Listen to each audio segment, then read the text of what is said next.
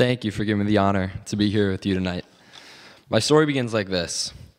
As mentioned before, my name is David Spampinato. I'm a second year journalism student at Fordham University. I'm a son, a brother, a friend, athlete, coach, writer. On some Saturdays, I'm a WFUV sports radio host. I'm a baseball player, a catcher, despite my diminutive stature, who's the only player on the field to see the game from my perspective behind home plate. This is the part of my story that's pretty easy to see, pretty public. But like us all, there are parts that I keep closer, more protected. On September 11, 2001, I was a happy four year old whose world abruptly changed when my dad never came home from work. He worked on the 104th floor of the North Tower, the one with the point on top. The first building struck on that fateful day. His offices were above the crash that took out the stairwells, leaving them no, with nowhere to go but up. It's difficult to imagine what that must have been like. I always wondered what my dad was doing in his final moments, but I imagine he was helping others, because that's who he was in everyday life. Although he was a bond broker, he was also a teacher, a coach, a triathlete, and a great deal and a great dad to my two brothers and me. So in these past 15 years, I find myself interested in the stories, people's stories, the experiences that make them who they are, that show their character, their core, their spirit, I am fascinated to know the story of Welles Crowther, who is living parallel moments from my dad. Their last moments on the 104th floor on top of the world in two different towers. I'm grateful that this story was written to remind us that ordinary people were extraordinary heroes on that horrific day. Immediately after accepting the generous invitation to be here tonight, I did some extra research on the author who memorialized Welles' story. I was already a big fan. After all, he eloquently tells stories on ESPN, usually with a connection to a sport or a sports figure. And it's usually the story of the unsung hero or the underdog, the person who faced challenges with dignity. He tugs at your heartstrings and gets to the real human emotion, leaving the viewer with a lasting imprint. Therefore, it's only fitting that Tom Rinaldi would eloquently tell the story of Welles Crowther and how he behaved on his last day, the day for which he'll be remembered. Tom Rinaldi has been a national correspondent at ESPN since 2002, covering mainly golf and college football. Prior to that, he was a teacher and coach, just like my dad was, before working on Wall Street. I hope the students at Shadyside Academy in Pittsburgh were as inspired by his 2015 commencement address as I was. Among other honors, Tom Rinaldi was, won 15 National Sports Emmy Awards and six National Edward R. Murrow Awards. He's also the 2016 recipient of Father Bill Atkinson's Humanitarian Award at Villanova University. He's with us tonight to speak about his New York Times bestseller, The Red Bandanna, the story of Welles Crowther. It's my privilege to introduce to you Mr. Tom Rinaldi.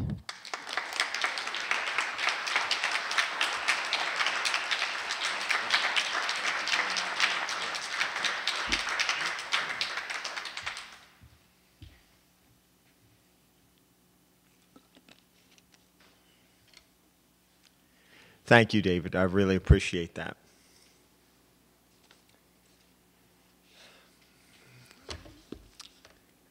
I had a chance to, to share uh, with Karen and Victoria. I've been fortunate enough to receive a, a number of different invitations. Uh, it's one of the wonderful benefits of writing a book.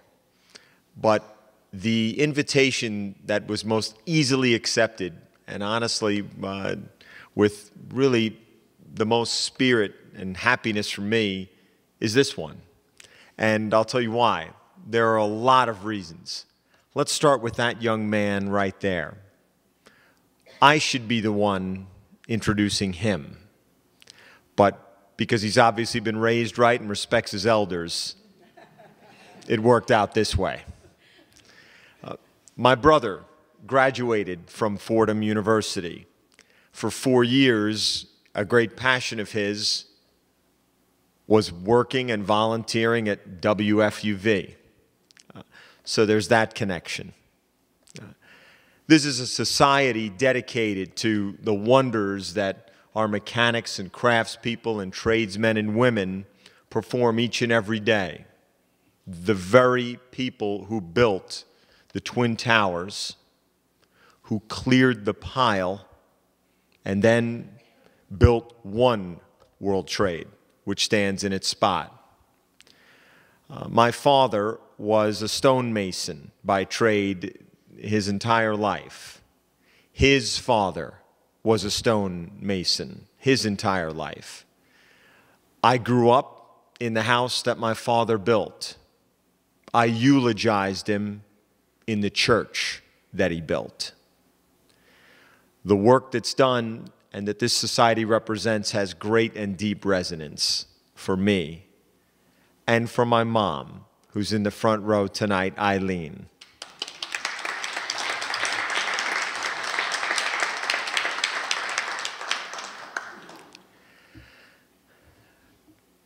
If you haven't been upstairs in this incredible place and this incredible structure, there are two pieces of steel that sit very simply, unadorned, with a very simple placard next to them. They're two pieces of steel from the World Trade Center. Simply, the placard says that these pieces of steel were bequeathed to the society.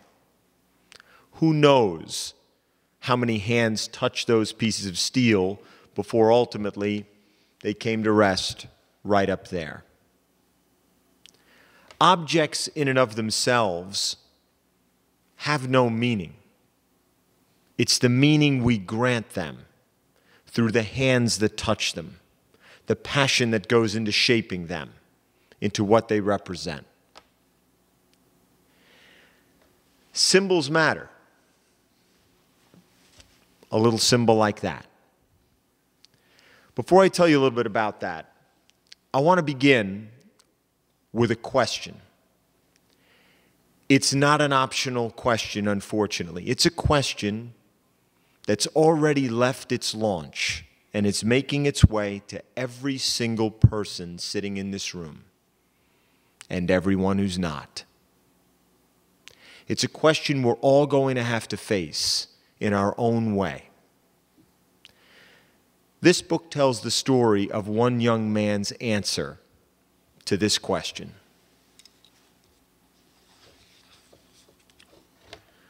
What would you do in the last hour of your life? Where would you be? What would it look like? Who would remember it? If you could know, would you want to?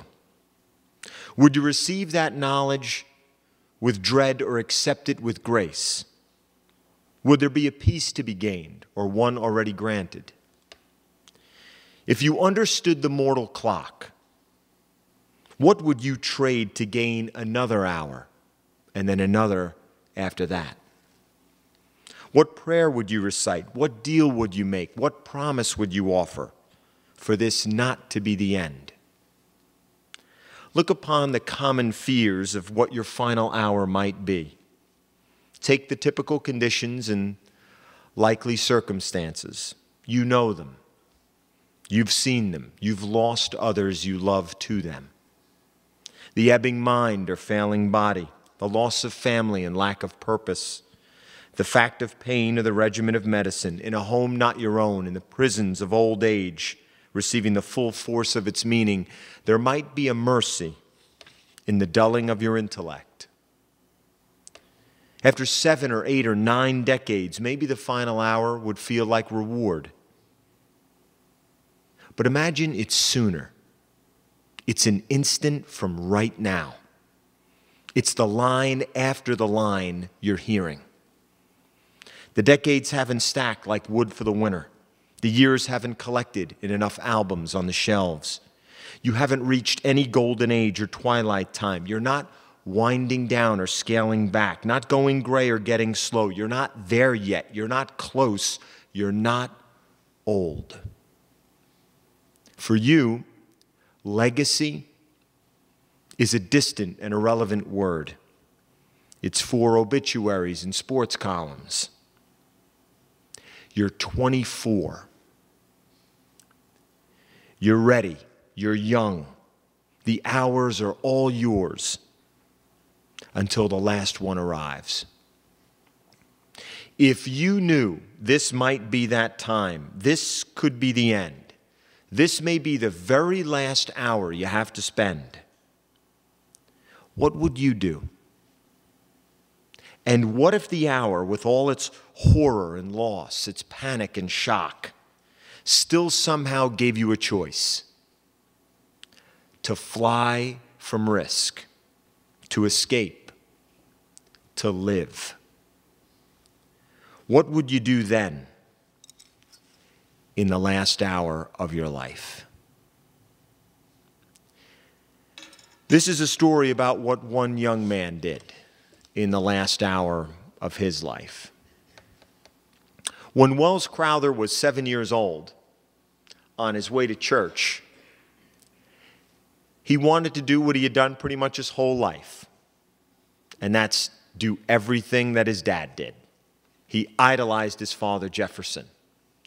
And Jefferson was dressed prim and proper in his Sunday best to go to church services. And so, in his very first suit, Welles was dressed until he noticed something.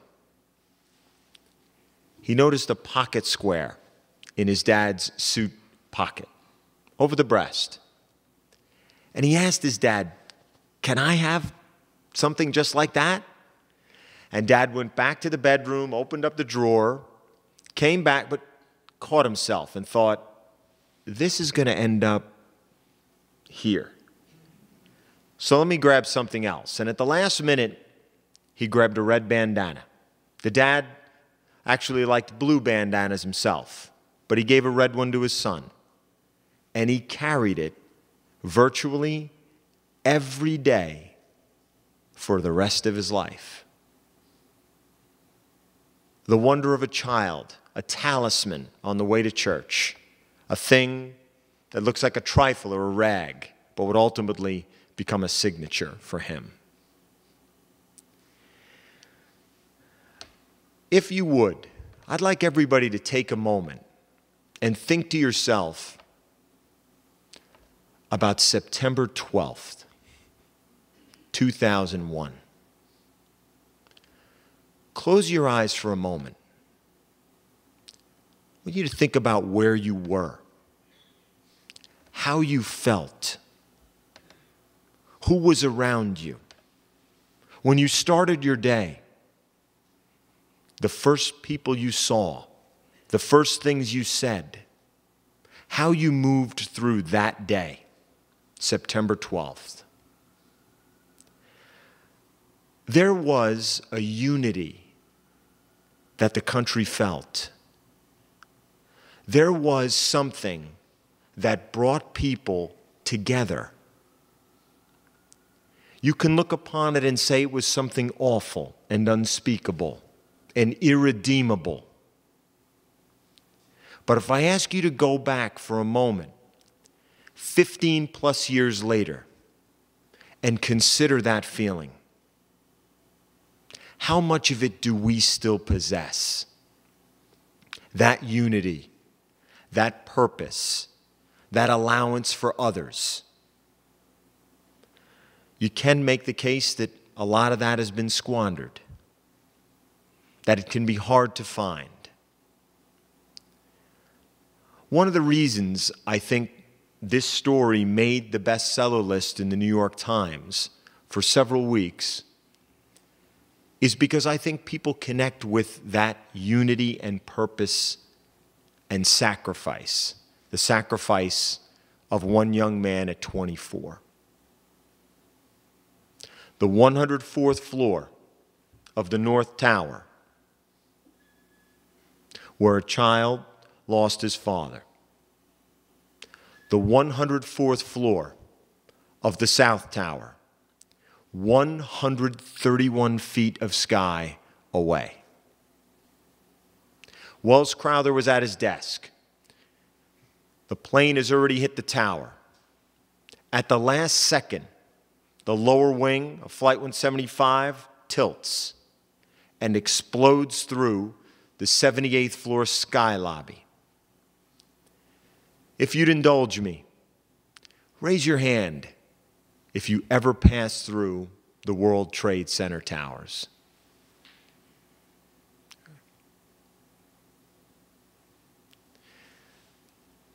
If you ever went up into the towers, anywhere near the top, Express elevators went to 78.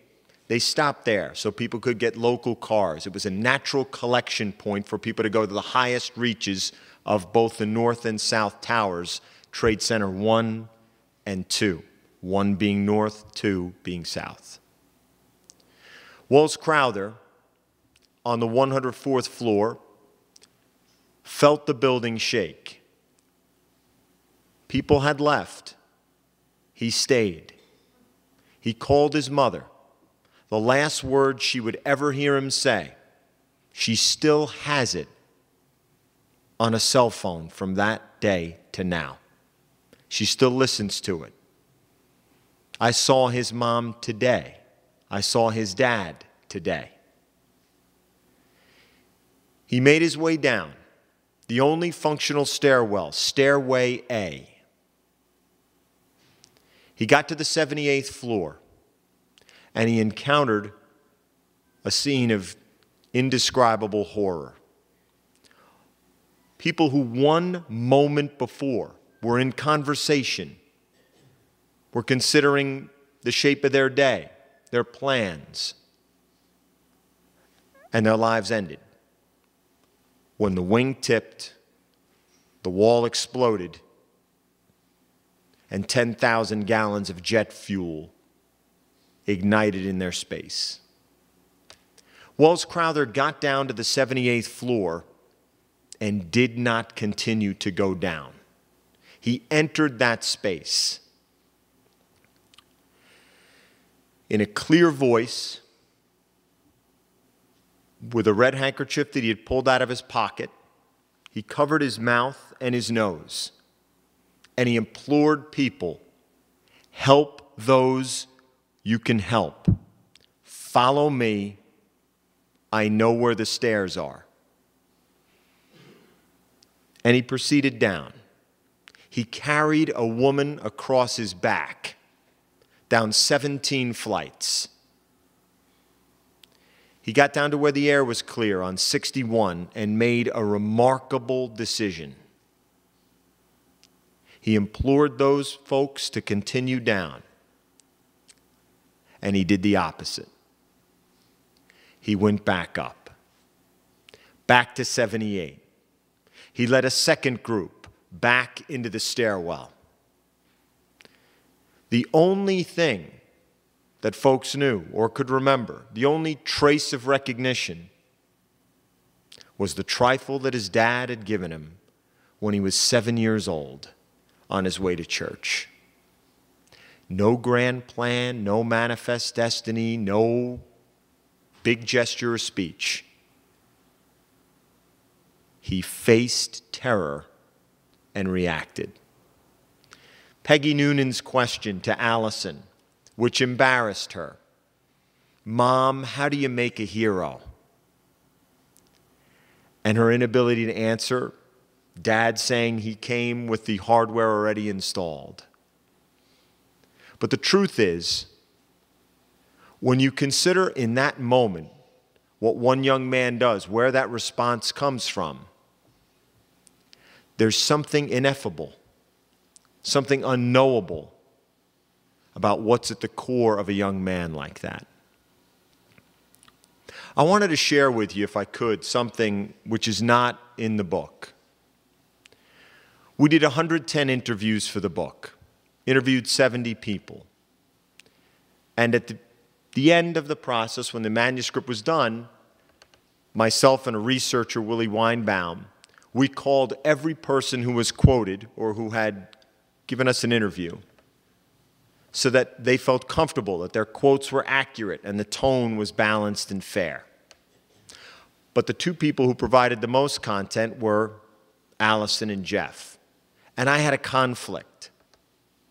I wanted so badly to preserve the moment where I could give them some tiny piece of their son back by putting this book in their hands. Yet I also wanted to be certain that they felt as though they were being depicted accurately and fairly. So we reached a compromise. I went up to their house for who knows how many times in Upper Nyack, New York, and I sat at their kitchen table and I read aloud to them for five hours. I read for three hours to Allison and two hours to Jeff. At about an hour and a half in, Allison reached out, took my hand. All she said was, I could never have heard this until now. Jeff wept for two hours.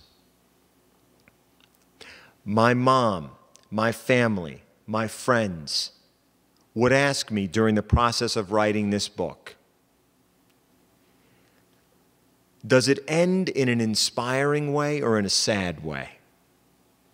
And I would always have the same answer yes. The answer is both. It is a book about a terrible day told through the lens of a single life lost.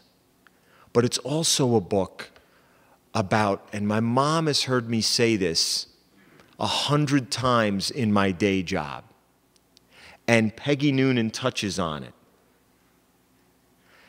The, the endless and boundless wonder of human strength to bear up through loss, loss that is unimaginable the worst loss you can imagine.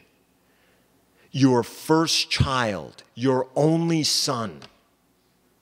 In Jeff's view, the embodiment of his best friend, someone he talked to every single day from the day his son left for college to the day before he died. Every day. What good can come from that? And yet, through Allison and Jeff, the third act of the book shows you, through their discovery of what their son did, their determination to make something good come from loss.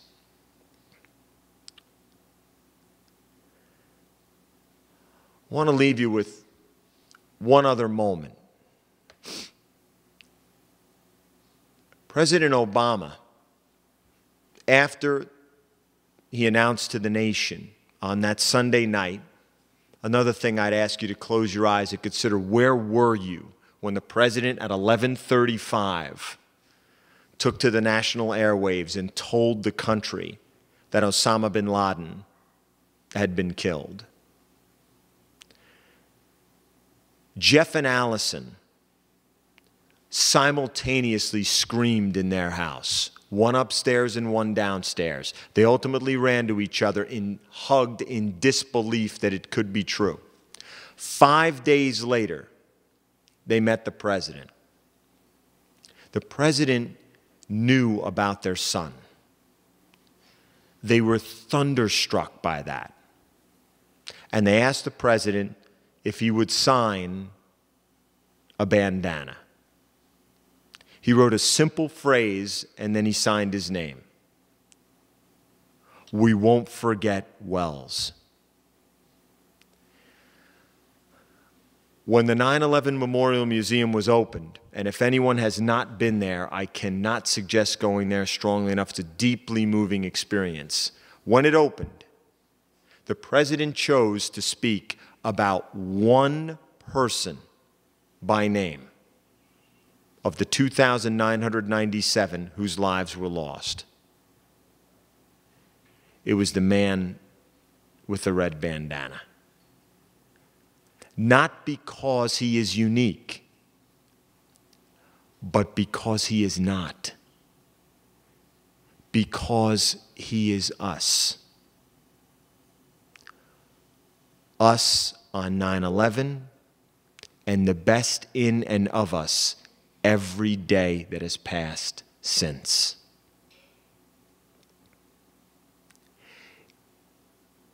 Is it a book about loss? Yes. Is it a book about strength? Yes. Is it a book about family and faith? Yes. It took 10 seconds for each of the towers to collapse. 10 seconds. And yet, the imprint it's made on our nation and on our culture will never be forgotten. This is not a story that attempts to, to make sense of what happened. It's a story about one family and the young man they raised and the choice that he made. To stand here in this room, in a place dedicated for 200, more than 225, 30 years, for the people that built this country and then rebuilt it and rebuilt it again. There's an, uh, such a great honor and humility in that. And I know that if Jeff Crowther were here and Allison Crowther were here, they would tell you what I'll leave you with. That in this simple trifle, in this rag, there's a simple message go back up. In whatever you do, it's so easy to go down. But go back up and let this be your guide. I thank you so much for being here tonight. Thank you.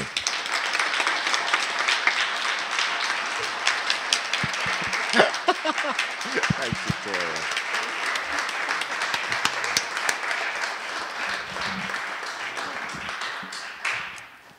Gonna take questions? Sure, I'd love to. Any questions? Have you answered that question yourself? It's a question that I've uh, wrestled with and struggled with a lot. And um, I think the truth of it is, I don't think I could do what Welles did. Uh, and I'd like to try to rationalize it. Maybe some of us in this room, as we ask ourselves, would you have something inside you to go back up? Not just to save a group of people, but then go back up and do it again. And by the way, Welles made it to the lobby, as the book traces, and still did not leave. His remains were recovered surrounded by FDNY firefighters. Maybe you think to yourself, could I do it before I were married? Before I became a father? But I'm forever a son and a brother and a friend and a lover to someone.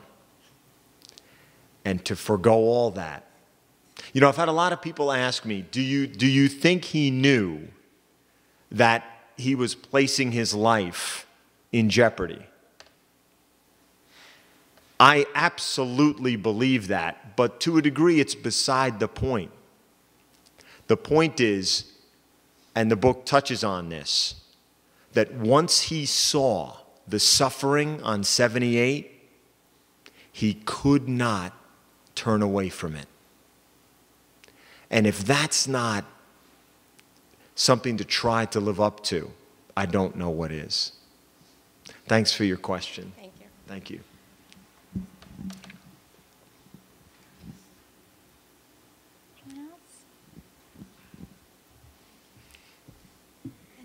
Tom, I thought in, in reading the book, I some of the, for example, the the fact that his uh, Welles's parents met could you, on September 11th, 1968. If you could touch on that, and also Sure. Osama bin Laden. That was their 40th wedding anniversary, wasn't it? Yeah, and, um, Allison uh, is someone who has visions and premonitions, and this is touched on in the book. Um, but there are, without question, just some powerful coincidences and, and numerology at work, if you will. The very first date that Jeff and Allison had, a blind date, was September 11th, 1968. Each one, respectively, went back home, living at home at the time, to Allison's parents, to her dad, Jeff to his mom, and each reported, they swear on a stack of Bibles, I just met the person that I'm going to marry. The response from the respective parents is what you would have assumed. Yeah, right. yeah, right. Uh, bin Laden was killed on the 40th wedding anniversary for Allison and Jeff. Um, and again, whatever anybody's political leanings are, for Jeff and Allison, that moment held a tremendous power and meaning uh, in, in so many ways. As two people who are people of faith and who each have struggled with the notion of having to try, according to their faith, to forgive in the face of their loss. And that's another book in and of itself. Thanks, Victoria. Sure.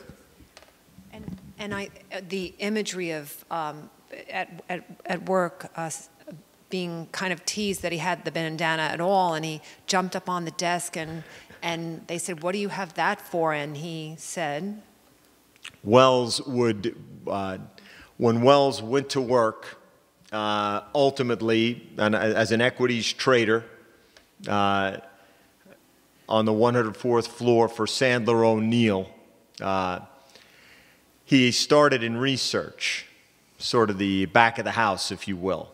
And he would carry that red bandana in his pocket, and colleagues would absolutely mock him about it. What do you think this is, a farm? And how to do, how do you do, Welles? And those kinds of things. Uh, but he was kind of always that guy that would find the solution to a sticky problem. And when he did, he would kind of rub their face in it by taking the bandana out. And at one point, he waved the bandana around and said, With this, I'm going to save the world. Yeah. Yes, ma'am. Of the people you interviewed, how many were actual survivors? So, this is an, an interesting question. How many people did Welles save? Which is an elusive number, and a number that we never name in the book. Uh, we know that Welles led two separate groups down. Uh, let me, if I could, talk for a moment about two of the people who we interviewed.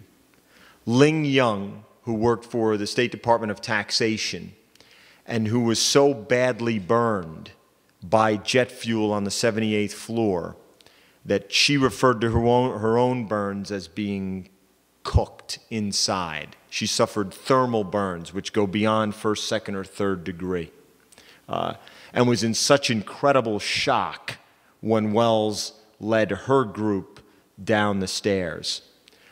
Ling had never been back to the World Trade Center site. It was so traumatic for her. And yet, at Allison's invitation, when the memorial opened, President Obama spoke, followed by Welles' mother. And Welles' mother was introduced by Ling Young. Judy Wein, who Welles also led down in a separate group, has her own uh, remarkable story. Uh, uh, and uh, much of it is contained in the book. Judy is a key to identifying Welles as the man in the red bandana. Uh, but Judy does not do any interviews. Her husband speaks for her.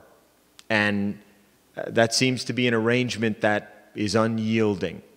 Uh, Ling has, after speaking with us, uh, five years ago, I interviewed Ling. Uh, she has never given another interview.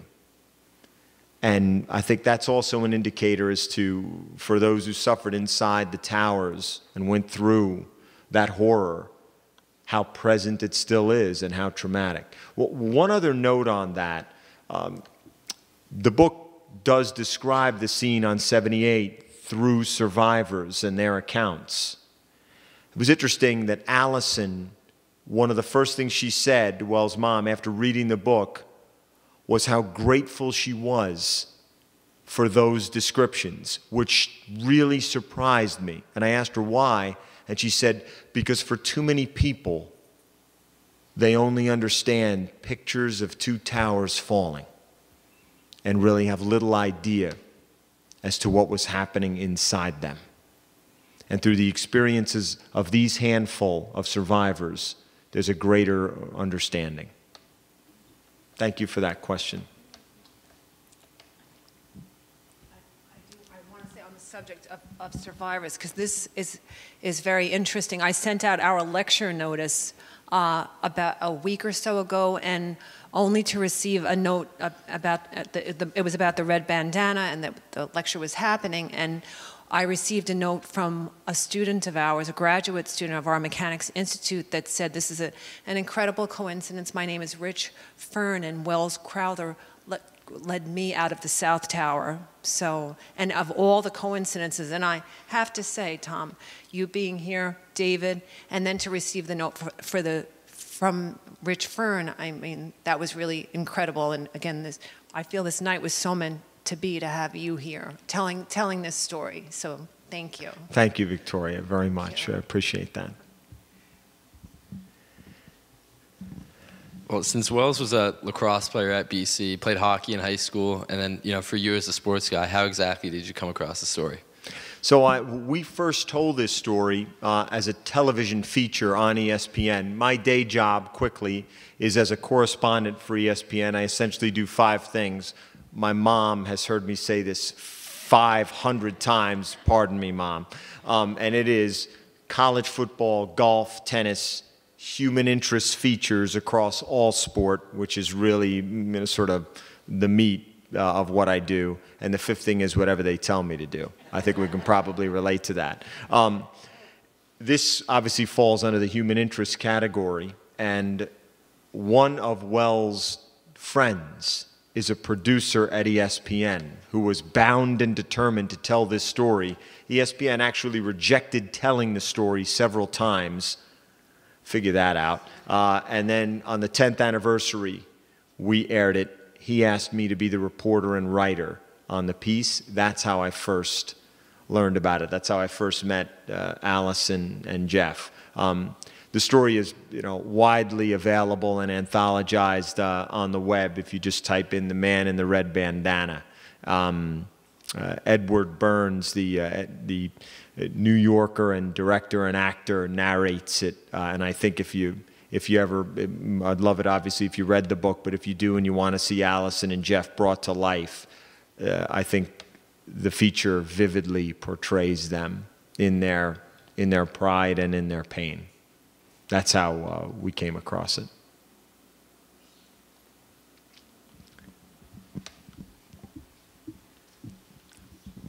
How did you not get wrapped up in their pain in telling their story?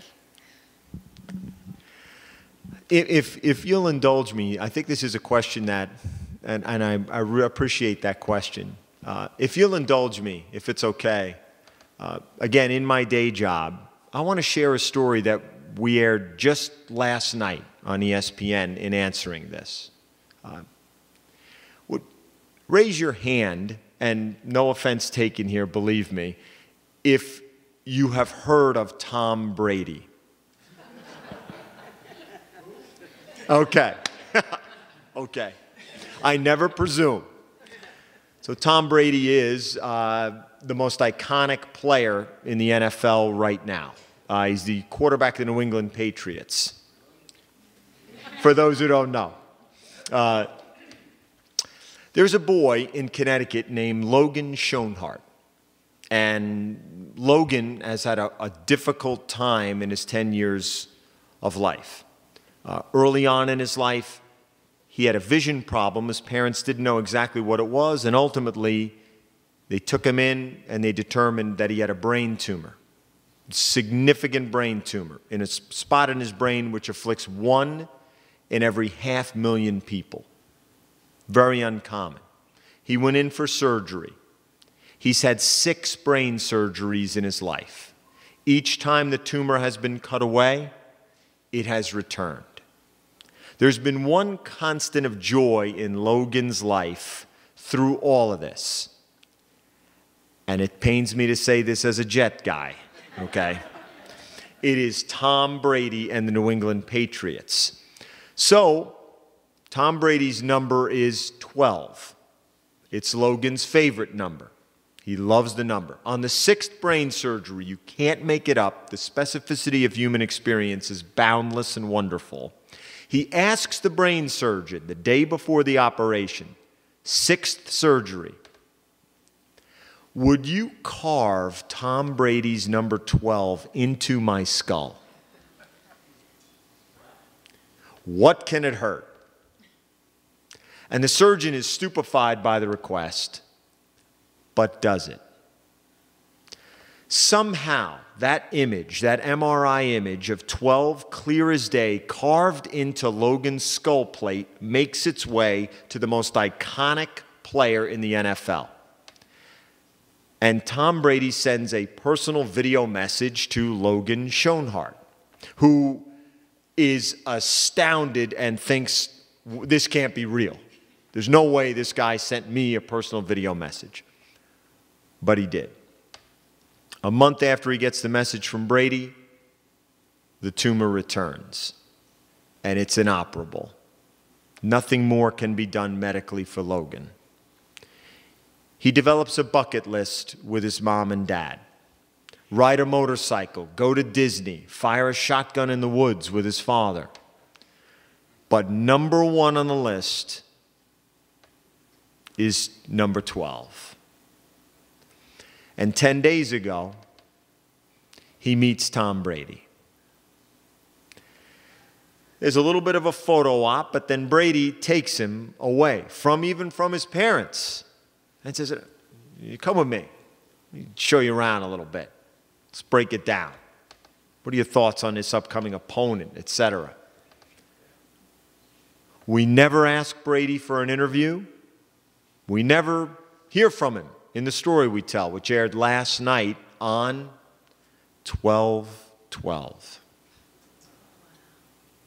So we tell the story before Monday Night Football. There are two moments. Um, I count on my mom here because I know she saw the piece. There are two moments in the piece. One where his mom says, Logan, there's nothing more that can be done, and you're going to die. She tells him that. And his response is, It's too soon. It's not long enough. I'm only 10. When I asked Logan what he wanted to say to his mom, he said, I want to tell her I'm sorry. His father, at the end of our piece, says, Cancer will take my son, but it never broke him. He was on the sideline last night. He predicted before the game it would be a tight game, one score, and the Patriots would win and Martellus Bennett, their tight end, would play a key role. The Patriots were winning 23 to 3. They won by 7. Bennett caught a key pass in the second half. It unfolded exactly as he said. On the drive back from Foxborough last night, in the car, I cried. Was a great night for the family. But I cried. I cried interviewing Jeff and Allison, not in front of them. I feel like that's indulgent. But in my own space, my mom, my wife, they will tell you. And I think if you don't, there's something missing. I'm not saying you have to cry, but if it, and again, with my mom as witness, she could tell you the number of times I felt the pressure to tell the story the right way when someone shares that, let alone when someone shares this. It's to try to always be truthful, but write it the way you would want your story written, at least as best we can.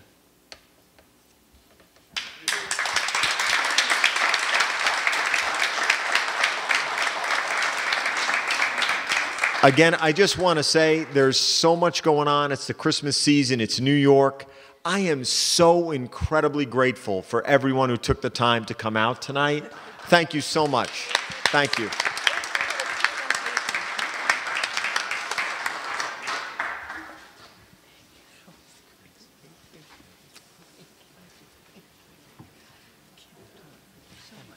So wonderful.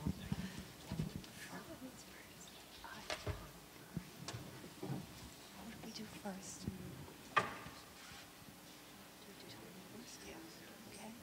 We, and Karen, you want? Yes.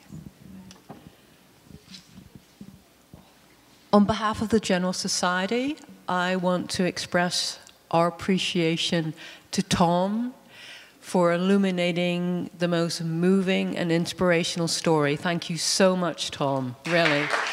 It was just, thank you. Fantastic. And we also want to thank David for his wonderful introduction.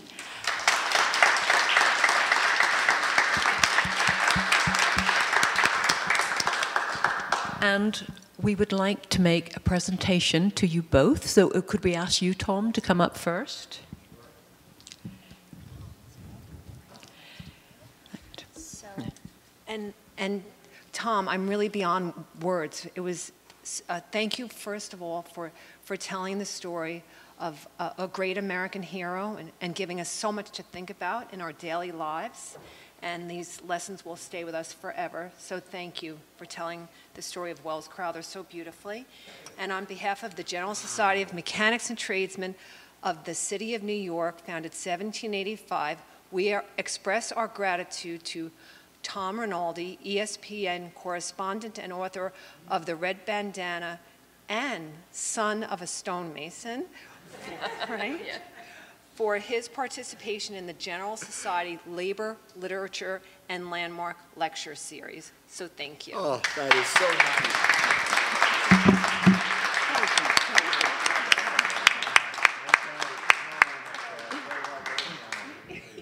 Thank you very much. He is- And Tom, and anyone who comes to our events knows that once, once you're part of the family, well, we just don't let you go. And you are the son of a stonemason, so we, you- but now you're also a lifetime member of the General Society Library. Oh, that's awesome. My card.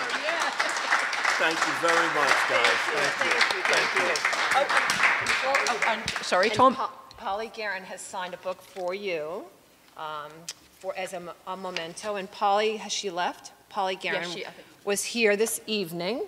And she signed one for my mom, Oh, too, which that- was very yes. nice. Yes, Tom Rinaldi And Eileen. and Eileen Rinaldi, and thank you. Thank you. Thank you. Thank you. Thank you, guys. Thank you. And that's your poster. a little memento. Thank you so, so much, guys. Can, can, can I just say one thing real oh. quick? My mom loves when you get anything for free. She loves that. Loves it. Thank you, And the guys. book. Oh, you're Right, welcome, Tom. right. And David, if you'll come up here, please. All right. And David, thank you so much for your introduction. And uh, I just have to say, on a very personal note, this means so much to me. I just want to come over because your mom's there.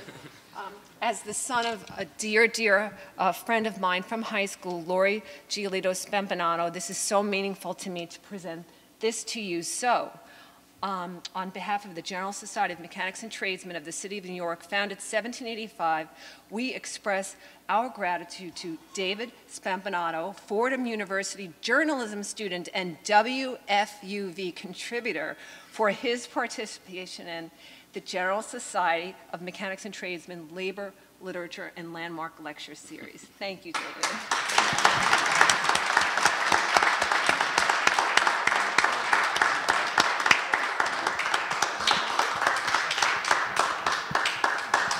And now the book signing, right? Yes, I just I want to remind you all that this wonderful book is uh, now available for sale, and I think uh, Tom will sign a copy for you, a personalized copy. So I want to invite you now to join us uh, for uh, a glass a glass of wine and to stay for the reception. I'm sure Tom will also be happy to answer any other questions you have.